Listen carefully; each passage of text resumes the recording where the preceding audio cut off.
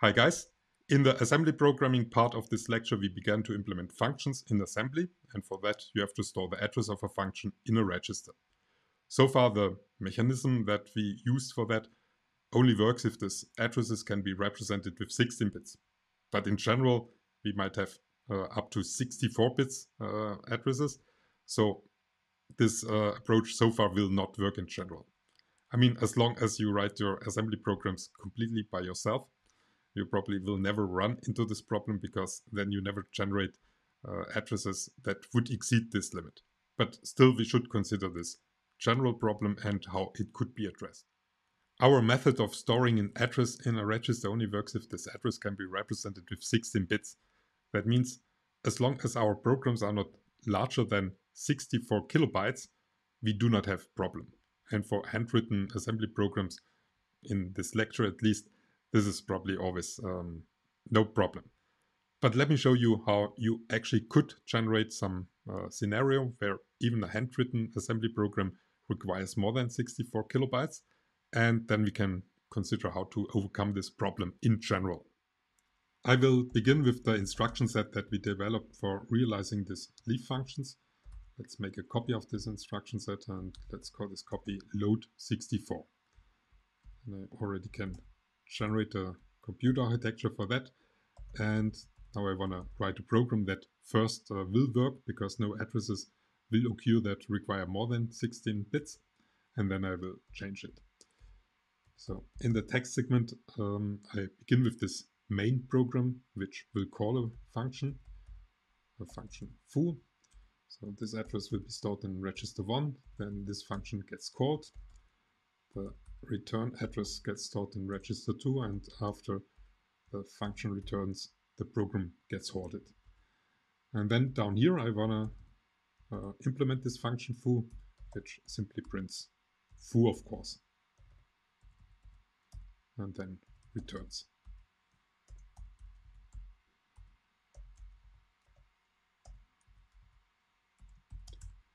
So this should work of course.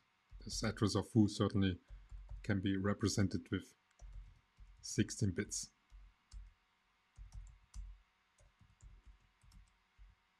Okay, prints foo, and that's what we expected. Now let's change this program a bit so that this address of foo is no longer representable with 16 bits. And for that I use here an align directive. I want that foo is at an address which is a multiple of 2 exponent 16. So for an alignment I can use hex 10000. And that actually means that foo will exactly have this address to exponent 16. Now let's see what the assembler is now uh, thinking about this uh, code. Well, exactly that. The address is now um, 2 exponent 16, not representable with 16 bits. It's not within this representable range. Let me also show you that if we now would uh, remove this uh, load instruction here and um, look at the generated code. We now have lots of zero bytes inserted for the alignment and this simple foo now has the address to exponent 16. From the ALU project, we know how to overcome this problem by using more than just one instruction if we want to load more than 16 bits into a register, and this approach is also used by the MMIX architecture. For that we need a new instruction which is doing a shift and a load. So that means we first shift the destination register to the left by 16 positions and then add a 16-bit immediate value. I will show you how to implement this in the ULM generator. This is actually kind of simple. In the implementation part you can use the shift operator from C. And then you also have to know how to use a so-called word operator provided by the ULM assembler for accessing certain 16-bit blocks of an expression. And then I show you how to overcome this problem with this approach. Let me first clean up here a few things. Now I will add this instruction in our load 64-bit instruction set architecture. And so this will have opcode hex 15. And the instruction format is the same as this load instruction that we already used. So we have 16 bits for an unsigned integer and 8 bits for identifying or addressing a register. The mnemonic is short for shift load a word into a quad register. We want to load this bit pattern identified by XY into register Z. And the implementation is uh, setting a register, so set rec. Uh, what do we want to set? We want to set it to what uh, register Z contains so far. So ulm rec val of Z. But this should be left shifted by 16 positions. And then we uh, want to add this bit pattern XY. And here, of course, we also can use an bitwise OR. And this should be stored in register Z. So that's it. And now in the program, we can do the following modification. We still begin with a load instruction, but here we pick from the expression the next word, uh, W1. That's uh, probably formally the second least significant uh, word from this expression. Initialize with that, this destination register 1. And after that, we do this shift load uh, instruction. And here we pick the least significant word. Uh, that means in the second instruction, we do this shift and then add the least significant word to the destination register. And that's actually it.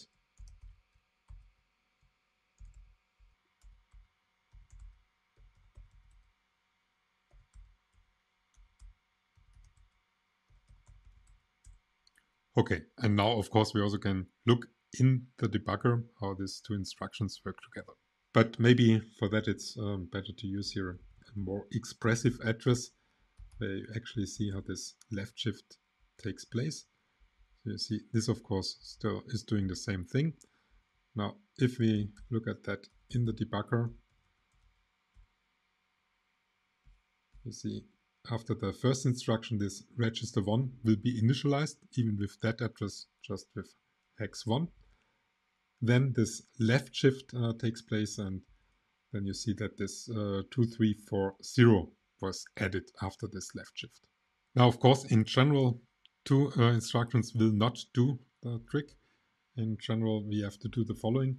We have to use here four instructions in the worst case, like that. In the first instruction, we load the most significant word, then the next uh, uh, less significant word, and so on. And this, of course, again works. And and most of the time, we will just waste CPU time. As you will see if I restart that in the debugger, you will see that the first two instructions will just have the following effect that you will see here a 0-bit pattern in register 1. Now it's initialized with a 0-bit pattern.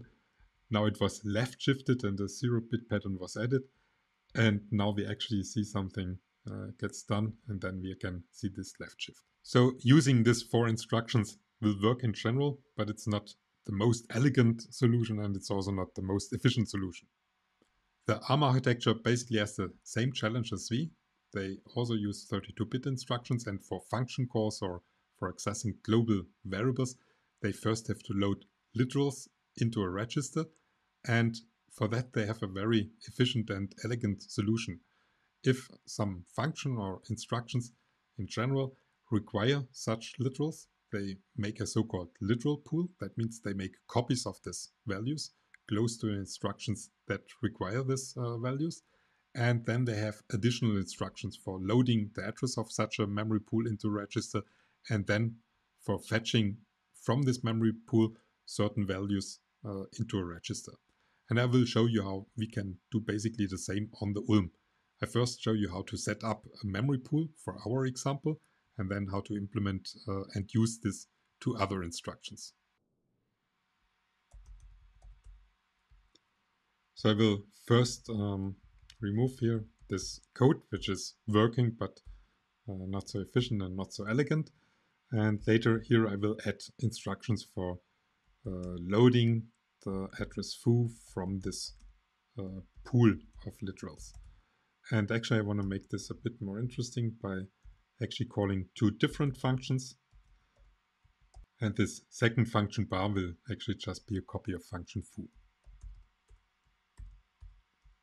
Let's also make here some comments that this here is function foo and I want to copy this?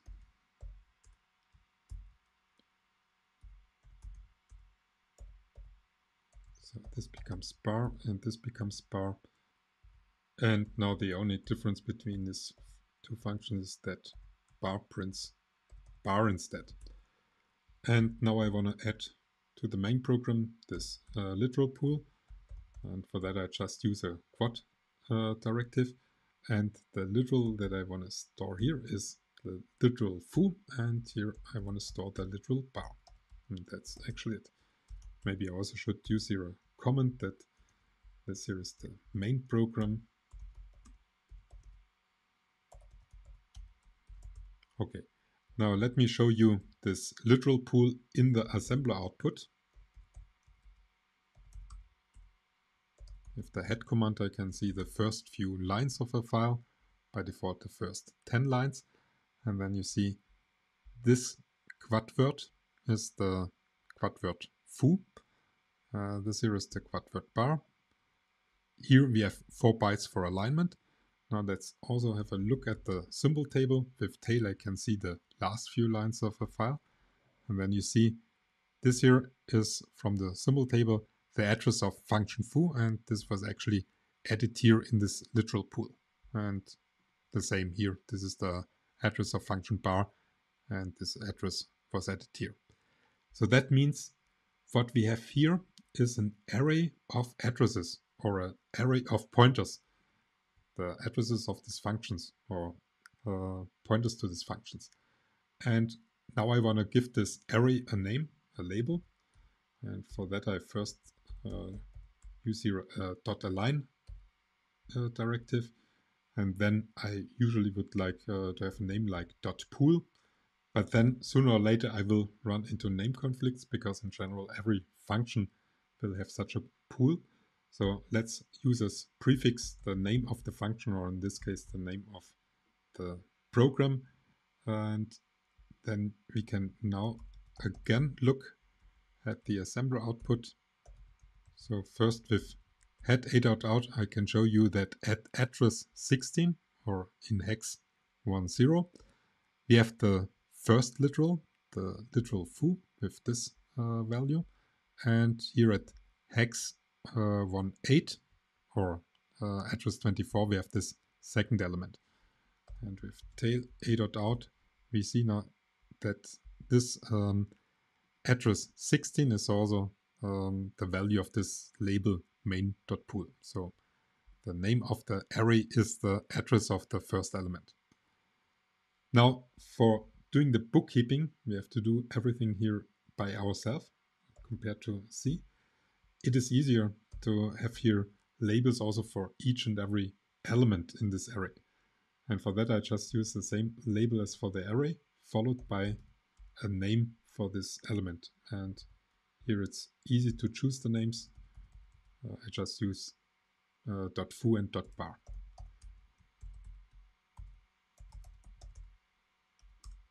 And then last look.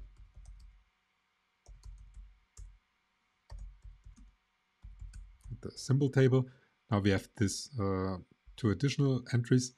This here is the address of the first element, which is the same as uh, the value for this label for the array. So the array label is the address of the first element and this here is the address of the second element.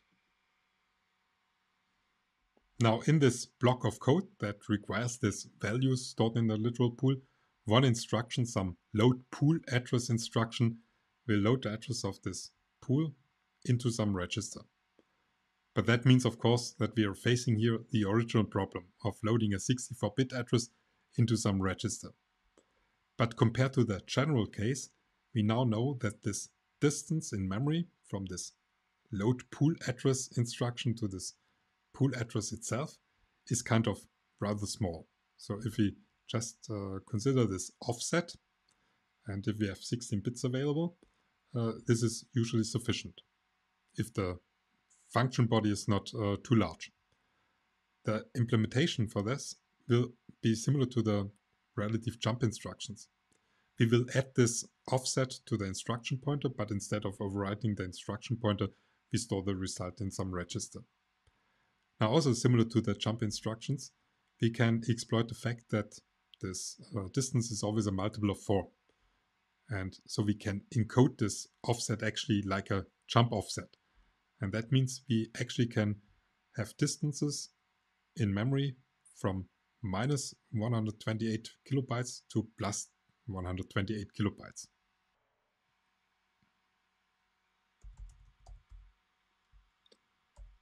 So first we need this uh, new instruction and then I show you how to use it of course. For the instruction we also need a new instruction format. Uh, actually just can copy this one here and change it a bit.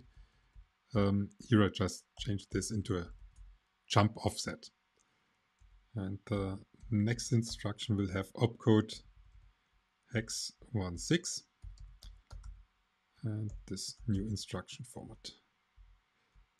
The mnemonic is load pool address offset xy into percent Z into register Z.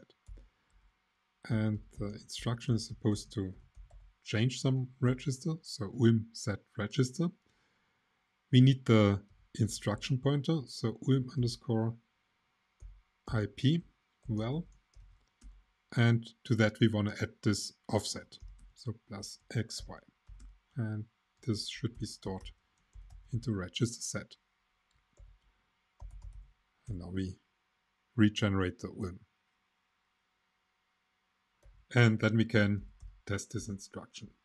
Before we can load something from the pool into a register, we first have to load the pool address. That's .main.pool into a register, um, for example, register 3. Or better, let's use some EQ directives for specifying that. So pool is equivalent to 3 and let's also use that for uh, specifying the function address in register 1 and the return address in register 2. So that means I have to change percent %1 into percent func underscore adder and the return address is in register 2.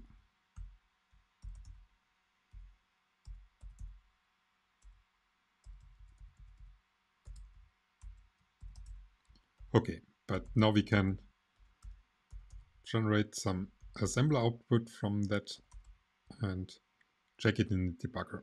There you should see that this address of the memory pool, which is um, address 16, will be stored after the first instruction in register 3.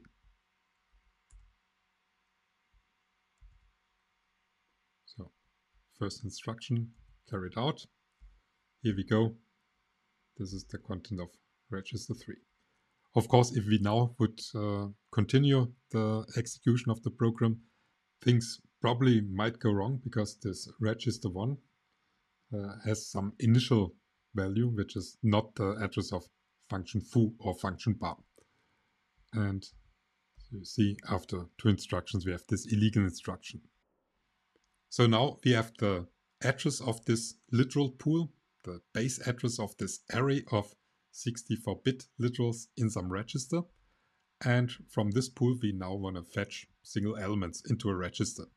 Let's say we want to fetch the second element of this array into a register. Then we first have to compute the address of this element. That means in this case, we have to add 8 to the address of the pool because every element has 8 bytes. So we have to compute this displacement factor. But of course, um, instead of memorizing that each element has 8 bytes, we can use the assembler for doing the computations and the bookkeeping at least a bit uh, for us. And after computing this address, we can use our fetch instruction for uh, getting finally this uh, 64 bits in some memory.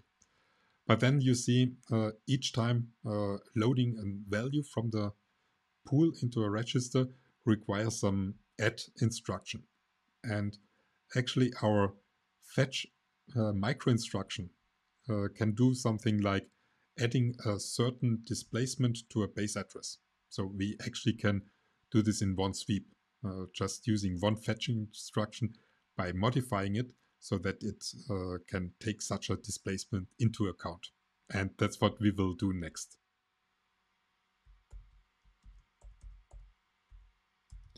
So this is currently our move instruction. In this parenthesis, we can specify some base address. Now I also want to um, be able to um, specify some displacement. And for that, I want to use a notation that I know from the GNU assembler on my platform, where I can put this uh, displacement in front of this parenthesis. And in the micro instruction, this here is the parameter for specifying this displacement. Now in the uh, program, we now can actually use uh, this fetch instruction.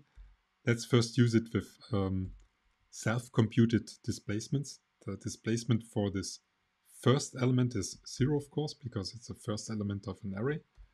And the base address is the address of the pool. And this should be stored into uh, percent func header. And the address of the second element is, of course, 8. And that's actually it. Now here we have to regenerate the computer architecture. And actually up here I can show you how the program works.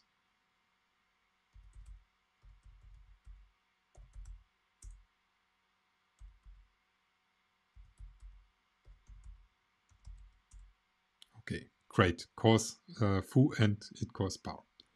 Let me also mention that, of course, if we would have a third, fourth uh, variable in this pool, this displacements always would be a multiple of 8. And of course, that means in encoding this displacement, we would always waste three least significant bits because they always would be 0. And of course, we can do better. But before I show you that, let me show you how EQ directives can be used to compute this offsets. In this case, it's of course uh, simple in general uh, by using the assembler. So let's say this offset of foo uh, for main uh, should be called .main.foo.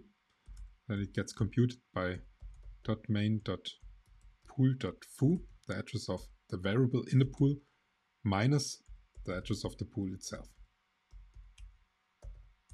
And the address of .main.bar, which should be the displacement for this variable bar in the pool, would be computed by using here .main.pool.bar. And then you see the names get longer, but that's the price that you have to pay for uh, getting some bookkeeping from the assembler.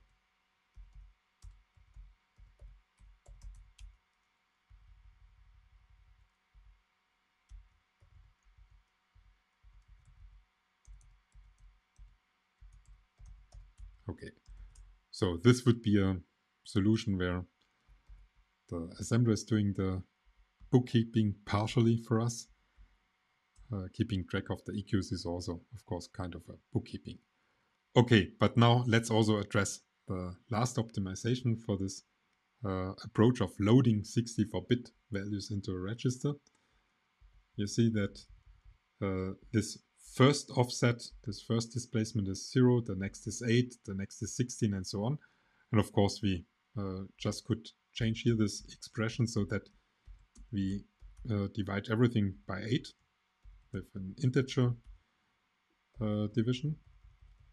And this of course would not work in this current form. Let's see what the assembler output looks like. Now in the first fetch instruction, we still have the encoding correct. Uh, the displacement is zero. In the second fetch instruction, this displacement is one, but it should be eight. But Uh, on the other hand, we are storing this uh, information more compact. But what I now do is I will implement a new uh, fetch instruction where this displacement always gets multiplied by 8. It's important to load 64-bit addresses into a register. Uh, doing this um, literal pool is a important uh, way to do this efficiently and so it also needs a efficient fetch instruction for fetching things from this pool. A special case that is important needs a special treatment.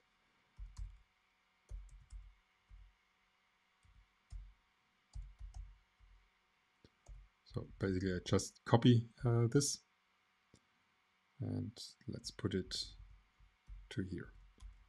So this will be hex code 17 and here I always will have a displacement so I will not change that. The displacement that I get from the expression uh, needs to be multiplied first by 8 before I can use it in micro instruction and then here we have to think about a good uh, mnemonic. So something like load from pool. And then we can make this work again.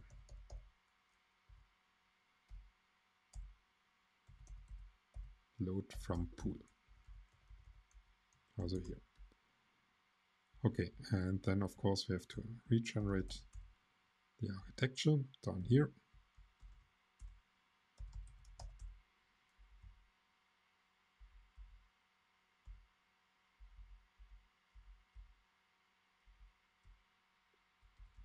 And still working. And most of all, we now see that this more efficient encoding actually works.